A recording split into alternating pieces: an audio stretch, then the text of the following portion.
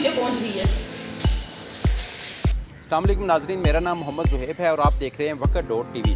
آج ہم جانیں گے کہ کیا بیماریاں جانوروں سے انسانوں تک منتقل ہو سکتی ہیں یا نہیں۔ آئیے جانتے ہیں۔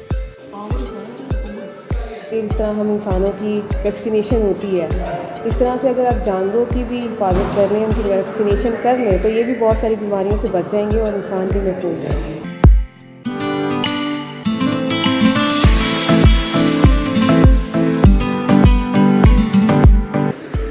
جانور آپ لوگ گھر میں رکھتے ہیں نا، کیونکہ وہ گھر کے ایٹماسفیئر میں رہ رہے ہیں، گھر میں ہم لوگوں کو یوزلی سب کو صاف ستھرے طریقے سے رہنے کے آپ جانور تو جانور ہیں، لیکن پھر بھی جانور آپ کے ماحول میں ویسا گندا نہیں ہوتا جیسے وہ ایک اسپرے کیٹ یا اسپرے ڈاگ ہوتا ہے، وہ تھوڑا سا فرق ہوتا ہے، لیکن باوجود اس کے آپ کو ان کی ہائیجین کا خیال رکھنا پڑتا ہے۔ جیسے ان کی لٹرنگ ہے اور ان کی جو ٹوائلٹ ٹریننگ ہے وہ کرنی پڑتی ہے، پھر ان کی کیا نام ہے، اگر وہ بیمار ہیں یا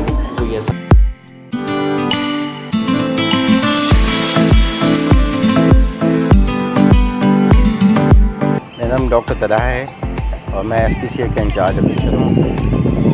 بات یہ ہے کہ جانوروں سے بیماریاں انسانوں میں پھیلتی ہیں اور خاص طور پر بلیوں کے اندر جو ہے کچھ ایسی بیماریاں ہوتی ہیں جو سانس کی ہیں یا جلدی امراض ہیں، وہ انسانوں میں پھیلتی ہیں۔ اس کی احتیاط اس طرح ہے کہ آپ پراپر اگر ویکسین کروا لیں جانور کی، خاص طور پر کیٹس میں ویکسینیشن ہوتی ہے، وہ ریگولرلی کروائیں اور پیٹ کے کیڑوں کی دوائی پلا دیں۔ اور ایک احتیاط کریں کہ کھانے پینے کھانا کھانے سے پہلے اپنے ہاتھوں کو واش کریں۔